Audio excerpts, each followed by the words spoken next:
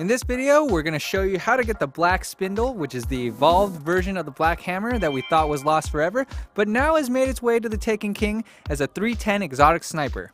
First and foremost, you're going to have to get a fire team together because this mission is going to be difficult. Ideally three, if not, at least get one other person to help revive. What you're going to need to do is a daily heroic, Lost to the Light. So you have the rest of today, hopefully to see this video and to finish this quest, or you have to hope that it cycles back into rotation because it doesn't work in just normal story mode. It has to be the daily heroic. Upon arriving into the heroic strike, just go ahead and run by everything until you get to this ogre. You're gonna have to fight this ogre and damage him enough to the point where he gets taken. After he gets taken, stand near this rock and get the shard that Eris Morn wants. Once the shadowy door opens, continue through the strike and keep running. There's no need to kill anything here, just make sure you don't wipe on the way there. Finally, you're going to reach this circular room in the Chamber of the Night, where on the right side, there's going to be a relic. Coordinate with your fire team members who's going to pick it up, bring it to the door, and open it. While that's happening, the other fire team members can attack the knight that's in the way and kill some of the ads so that the relic bearer can get to the door easier. You don't have to kill these ads though. Now run through the door and continue on the path of the strike. You're going to make a right here, and you're going to have to deal with two relics this time. So if you have a third fire team member, of course, have him kill the ads and distract this wizard, while the other two of you go by these knights and grab the relic to bring to the door. Be careful here because if you all wipe, you won't have access to this secret area for the Easter egg. Have your relic holders put it into the door, wait for the door to unlock, and just keep running. Continue to run because you won't need to do the third set of relics. What's going to happen is you're going to end up in this circular room here where you want to continue to where you would normally fight Taniks on that strike. Continue on until you get to the lift platform. If you want to go ahead and switch up your specs, switch up your guns or your equipment, etc., go ahead and do that now as it's a safe time to do that. Make your way up the lift, and you're going to continue through the corridors and the doorways until you reach the server room. Once you access the server rooms here at the doors, you're going to trigger the event. The event's going to be timed, and you have 10 minutes to get through it. Your fire team cannot wipe, because otherwise you'll fail the mission and you'll have to start all over again. One thing to note during the catch portion of the mission is that there are no instant revives. There is a cooldown of 10 seconds, or you can respawn yourself in about 20 seconds. Choose wisely on when to revive or to tell your teammate to respawn themselves.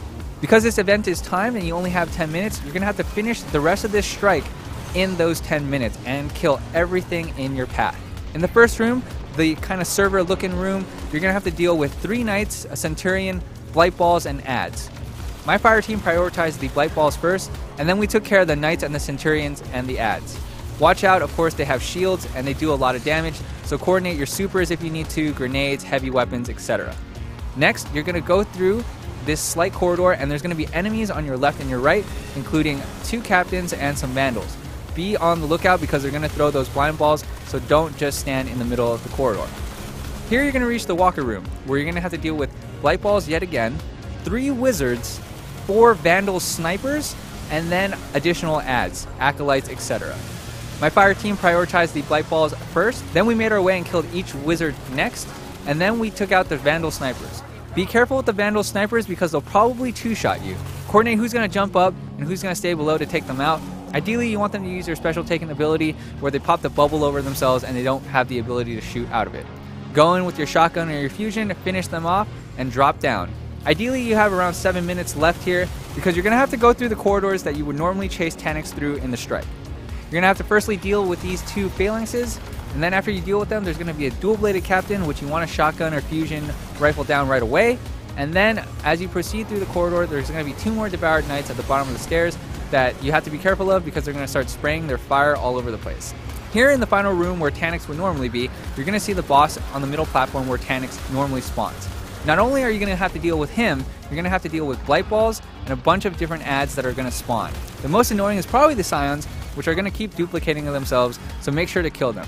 I used a Zalos Supercell in this case because it did a really good job against the Scions, and it kind of cleared the ads. But of course, you can coordinate with your fire team to take out the Scions with supers, heavies, etc.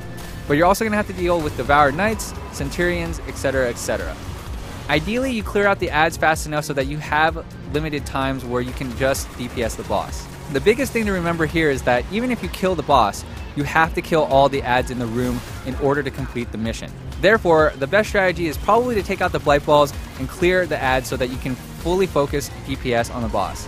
If not, you definitely want to try to just clear ads and shoot the boss at the same time. You can use the docking area that you come in at as a nice safe spot to kind of peek in and out to shoot within cover. You have to be careful with this boss though because he has the ability to throw the captain's blind ball at you, except he can do it three times.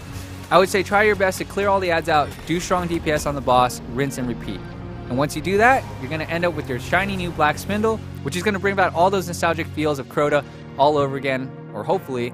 And uh, you're going to feel the wrath of the black spindle. Good luck to all you Guardians because today is the day you're going to have to try to get this because who knows when this quest will show up in the daily heroic rotation again. So try to get your fire team together, try Destiny LFG, and of course stay tuned to GameSpot.com for continuing coverage of Destiny.